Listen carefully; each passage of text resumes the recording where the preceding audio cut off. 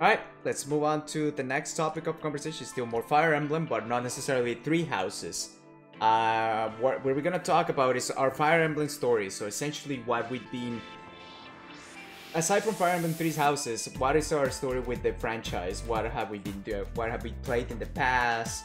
Uh, what are some of the titles that we say, oh, this is the title that actually I define as my favorite Fire Emblem game, or close to a, uh, or my favorite? Um, some of me- some of the mechanics have gotten better or worse over time, stuff like that. So Matt, wanna get us started? Oh boy. Okay, so I think the first Fire Emblem game I was aware of was uh, the GameCube one, Path of Radiance, which I didn't get, but that's sort of when like they had been in Smash Bros for a while then, and Hmm. I think I saw it in like Nintendo Power or something, and that was the first game I was sort of aware of. So I didn't end up getting that, but I got the sequel, Radiant Dawn, for the Wii as my first Fire Emblem game Oh yeah. which is I later learned is a terrible first game to start with because not only is it a sequel to a pretty lore heavy story, Okay, so you have no idea what was going on. but it's also one of the harder games. So Mm. that's why I got destroyed even on easy. But a at- At, the- at, at, at the very least, it got you ready for the hard. Like if you can conquer the hardest thing. I actually I didn't realize this at the time though because I enjoyed Radiant Dawn a lot and it's Uh-huh. still one of my favorites in the series. I think that the first half of Radiant Dawn is pretty much perfect. Ooh, first Like half it. though. Yeah, well, Hmm. apart from the one big issue that kind of permeates the whole thing is that there are no, there aren't really any supports in this game. Okay. There were plans to have supports, but there was like a hundred characters in this game, and it was just too much. So they ended up getting cut. Instead, Okay. you get base conversations, which are just sort of set conversations between certain characters that you get between maps, Mhm. which are nice, but it's not quite the same. They're not quite as in depth, but from like a story, a map, and a gameplay standpoint, I think the first two parts of this game are amazing. Oh. Um, and then Ike comes into the story, everything gets worse. oh, it's just because of Ike. Oh gosh, I, I forgot that you had the cer- certain dislike to Ike. I I do not like Ike in this game. I've heard he's better in the first game, which Mhm. makes sense because that's kind of where he has his story. Okay. Um, in here, it kind of feels like he's the main character just because he was the main character of the last game. Okay. He doesn't really have anything going on. He doesn't have an arc to go through. He's like, he finished his arc. He's did that in the first game. Now he's just a stoic, kind of serious guy. He's part of this war because someone's paying him to be there, which isn't a very compelling motivation. Like a mercenary, pretty He much. never really gets challenged because he's already like super strong and everyone already thinks he's the greatest and there's a lot more interesting stories kind of going on in the background that kind of get pushed to the side just yeah. so we can see more Ike and it bothers me. I mean, I guess it, because it was one of the most prominent characters from the previous, yeah, from the yeah, prequel. and I that's clearly why they did it, but I feel like that was the wrong move. So then, yeah, the story kind of suffers. I feel because of that, and then uh, the maps, the map design is still pretty good, but Ike's group is just so powerful that there's like no challenge anymore. Hmm. And then there's a few parts where you have to switch back to the group you were playing as for the first part, and they're so much weaker. so the game just difficulty spikes drastically for these chapters. Oh gosh. It's still it's still not the worst, but it's enough of a downer on it that I can't really say this is definitively my favorite. Okay. All right. Anyway, overall, I still enjoyed this a lot. So the next game I got was the next game that released, which was uh, Shadow Dragon on the DS, which was a remake of the first game, and I do not like Shadow Dragon one bit. Oh really? Even though it has Marth? I don't. so, Shadow Dragon also has no supports. It also has Okay. characters Mhm. who never speak, period. They just kind of show up and join. The story in general is very light. It's very dull, for lack of a better word. Oh. Gameplay is very simple. Map designs are very simple. It's just, it's so boring. Oh I found gosh. it utterly boring. But that's a remake So- of the first one, right? Like a com- Yeah, like yeah. okay. And I feel like that's really the problem is they didn't do enough to really modernize it. Mhm. And apparently the next sequel to that, which only came out in Japan, did a better job, but I never played it. Anyway, so at that point I was kind of like, oh, I wonder if I really like Fire Emblem after all. And then Awakening came out. Awakening. I got that. I liked it a lot. Mhm. Uh, I think its flaws are probably more apparent to me now, but At the first time. I played, I, I really, Yeah. really enjoyed. it. And uh, Awakening was like one of the main. The, I, I believe the, the the breaking point when this series started Oh, becoming yeah. like Oh, popular. Awakening is a super important title for this series in general. It's Mhm. like the best-selling Fire Emblem before that had been just shy of a million copies, and then Awakening sold over two million. Yeah, so there we go. So, so it was a big boon yeah. for the franchise. Uh, it finally fixed the support system.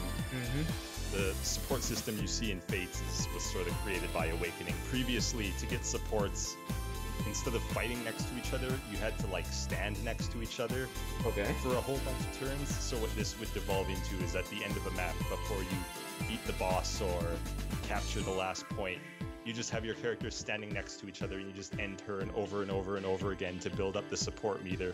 Oh gosh. And then the other issue is that characters were only able to get five support conversations per playthrough. Oh. So you could get like C, B, and A for one character, and then you only have two more supports, so you can't actually complete any other support conversations for that entire playthrough for that character. Alright, so basically the series has evolved over time on that aspect at least. Yeah, yeah, and I only realized that it was that bad because uh, I went back and started trying some of the older games. So I played Sacred Stones, which is Fire Emblem 8, which was the third of the three GBA games because it came with the 3DS Ambassador program or whatever. Okay. That one was okay. It's fine. I wasn't super impressed with it, but it wasn't Shadow Dragon, so Mm, okay, okay. that's good. A little bit better. Yeah, then I think Fates was probably next for me, and Mhm. I've sort of mentioned with Fates the story was just too rough that I Ah. couldn't really. It sort of hampered the whole thing down. I did. I do think I enjoyed roughly the first half of Birthright because the maps were decent, Okay. and I think that Fate's gameplay system is pretty good. hmm For sure. And the supports are all, there's some decent characters in there as well. hmm There's highs and lows really. Yeah. But then the second half of Birthright, I was Oh gosh. not enjoying it as much. Yeah. The maps took longer, they weren't as well designed, and the story was just really grating on me at that point. I kind of lost all hope that it was ever going to get good. Yeah. Especially after I killed Saizo. I think there was no hope. So then um, played Conquest after that, and I do think Conquest is the better game just because it has really good map design. Uh, you have more v- variety of objectives, like you'll have maps where you have to defend a place Okay. rather than just killing guys, and you'll have different sorts of things to interact with in the map. More objective driven then. Yeah, yeah. More interesting map design all around. So that was quite good. The story is still terrible, but I honestly enjoy it a bit more just because it's. Birthright was like boring terrible, Okay. whereas Conquest was sort of like so bad I can enjoy just how awful it is. Like so bad it's good almost. It's it's okay. It's, it's like what going to the theaters and watching a bad movie that you know is bad, but you enjoy it because it's bad. like you look at Birthright and the main story objective is just let's go to the bad place and kill Garon. Yeah. Yeah. Whereas in Conquest it's oh I we we know we have to kill Garon, but I our, my siblings aren't going to want to do that. Yeah. So we need to conquer Hoshido so that we can get Garon to sit on the Hoshido throne and then everyone will see that he's actually a goo monster and then my siblings will help me kill him. So we need to conquer this entire other nation just so that we can uh, expose our king And, as a bad guy. Oh gosh. No, sorry. That for the for the audio listeners, I'm just shaking my head all this freaking time. It's, it's just oh gosh. And then I tried Revelations and I never beat it because it was awful. you never beat it, so you never even finished it. I thought you would. No, it was really bad. Like the maps were super like I guess you could say they were also varied, but it was in a very gimmicky way and I just did I was not having a good time Mm. at all. And the story was still awful. Yeah. And I still had a bad taste in my mouth from Conquest having the exact same ending as Birthright, but the characters switched out. Yeah. So that annoyed me. Uh, I did go back and play Fire Emblem 7 after that, which was the first game that we ever got in the West, Okay. the second of the GBA games. Hmm. And I was sort of expecting it to be about on par with Fire Emblem 8, but I was actually really pleasantly surprised by Fire Emblem 7. I think it Even with the support have system. My favorite cast Ooh. of any game that I've played. Okay. Of Yeah, any like- game or Fire Emblem? Any Fire Emblem game. Okay, okay, sorry. okay. I was gonna say like, wow, that's a that's a big day Like, right the there. support system was still borked, uh, and there was some weird, not so great maps. Hmm. But like what I ended up doing was just basically reading all the supports online. But the fact that I was willing to do that kind of goes to show that I was really enjoying this cast a lot more than I thought I would. And yeah, the story was pretty decent. Overall, it was a quite good experience. I think that's another one of my favorites, along with Radiant Dawn and probably Awakening as well. Oh. I think those are probably my three. And then I played a little bit of six, which is Roy's game, which never came out in America. I was playing a translation, and it was Translation. Yeah, like a fan translation. Yeah, yeah, basically. Uh, Roy is not a terrible protagonist, so I've that been telling you since the day I saw Roy in Melee. I've been telling you, and you never believe me. It's, it's not for the reason I thought it would be though. Like he's a very weak unit, but that's also kind of the point. Is he's like this, like he's a lord, he's a noble. So Yeah. he basically needs protection, and you have to kind of drag him through these maps because every objective is always to get Roy to the end. but it's kind of an interesting from a gameplay standpoint, and Okay. also from his like supports, you kind of realize Roy's a bit of a nerd, which I wasn't really. Wait, what do you mean by that? Like he's he's a very uh, studious, like bookish kid. His whole Hmm. thing is like he's really well read and well studied. He's very good with his studies. Oh, he's well spoken Like too. an important character in the game. Yeah, Ah, so that was kind of neat. I that have. was nice. The game as a whole was good. I think I liked it better than eight, even though I haven't finished it yet. Mhm. Uh, it was a pretty, yeah, I'd say that's like pretty average Fire Emblem Roy's game, and that's it for me. Well, I guess I played Heroes as well, but I won't talk about that. I have too many mixed feelings about that game. I mean, you and you're still playing it because if you if you got I'm the still three. playing it, and I hate myself for Oh it. my gosh. But I'm Okay. not spending money on it, so Okay. that's- Okay. Fair enough. Fair enough. Ah, okay. That story. That story is way more involved than my story. Yeah, Uh, my, hear your story. mine is gonna be like two seconds long. Uh, my story started with Awakening when the franchise actually started becoming popular. I didn't even know. Well, I kind of knew about Fire Emblem just because of the uh, Smash Brothers. Yeah, that's how everyone. Yeah, that's what everybody knew. But I had no idea what they were before, and I really like Roy. I don't know why I couldn't. I couldn't tell you how I like developed a that relationship. I guess he screamed very loud. I tend to like very like screaming characters. Daisy, for example. Um, but yeah, I started with Awakening. I started getting into the franchise. I thought again the, the premise and the story looked really cool. It, I kind of fell off afterwards. I didn't get the battle system that much. I didn't understand what I was doing wrong. Uh, so when I was playing the game and I kept getting beaten, I was I, I, also it's because I I, I was uh, I was mostly I was bad at the game, and second of all, since uh, I I went on classic mode where I mean if you if one of your units die, every like it dies forever, it's permadeath, and for me, I, I wanted to do it because okay, that's the that's the Fire Emblem style. I'm not gonna play like a CC and not have the other thing. But every single time that my unit died, it made me sad.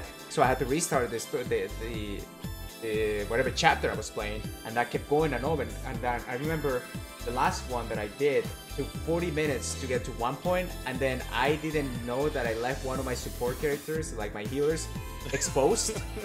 and in one turn, everybody, every single unit from the enemy went and attacked that unit and killed it. And I was like, okay, I'm done. No, not doing this anymore. I kind of So- left it up. just just very brief uh, interjection here. Mhm. In Three Houses, there's a thing they added where you can see what the enemies are going to attack, which unit. They'll have like a little red line from them to whichever one of your units is currently going to be their target on their next move. So Ah. that should probably help you out in that regard. I like that. I like that. Uh, and then I played Birthright. Uh, well, f- again, Fire Emblem Fates. yeah, Uh, yeah, but I chose the Birthright. I didn't play Conquest or Revelations.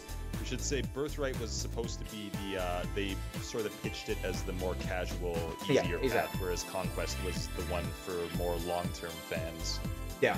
And that essentially took me six years to beat, or something like that. And not because I was really playing. into it. Uh-huh. Oh, yeah. Oh, yeah.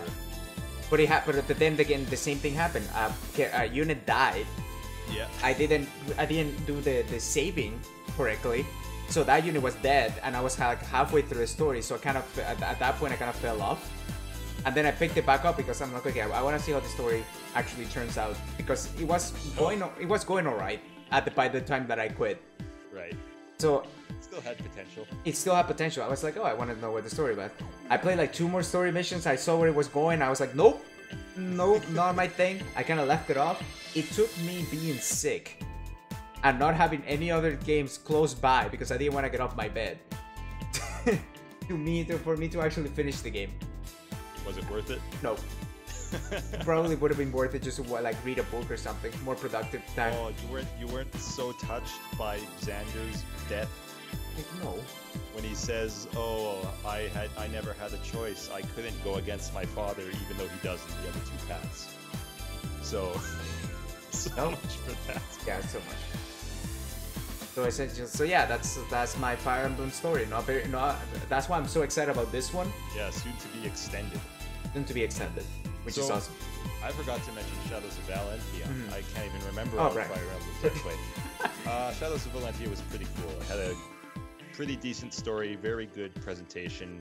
Uh, gameplay was bad, but in kind of a funny way because it, it is also a remake of an NES game, and they kind of left in all the nonsense from that game. Yeah, yeah, So there's a sort of novelty in just experiencing all this bad game game design in this really nice, shiny, like impressive looking package. yeah.